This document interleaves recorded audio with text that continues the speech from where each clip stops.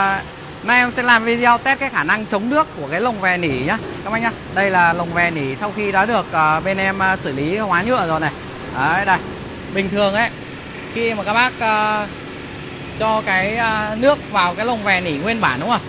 À, đấy là nó sẽ ngấm như giống như thế này này. Đấy, như này này.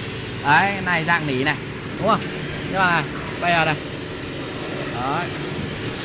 Đây thấy không? Khi ờ, sau khi ờ, xử lý này nước vào mát nó không ngấm nước các bác nhá. Nước trôi giống như kiểu hiệu ứng lá sen đấy đấy đúng không?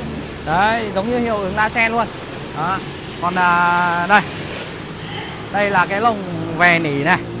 Lồng về nỉ nguyên bản này các bác thấy không? Đây. Bộ lồng về này. Đây.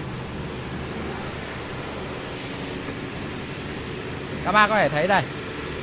Đấy đây. Khi mà nước vào này, các bác thấy không? Nó nặng và nó nó mềm này, nó rủ hết này, đúng không? Đấy, cái này là chưa xử lý nhá các bác nhá. Đấy, các bác để ý này. Đây. Khi mà nó gấp này, những cái nếp nhăn, nếp gấp này, nó sẽ có những cái vết này, đúng không? Đấy, nó sẽ có những cái vết gãy nhá.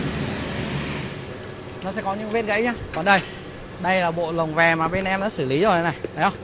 Các bác có bẻ như này nhá. Đây, khi ấy lại này không có vết luôn. Đấy, đúng không ạ? Đấy. Nó phục hồi form rất là tốt luôn. Đấy, giữ nguyên form và không bị sệ form như cái ờ, lồng vè nguyên bản này các bác nhá. Đấy, bác nào mà đang sử dụng lồng vè này thì hãy qua gala các bác nhá.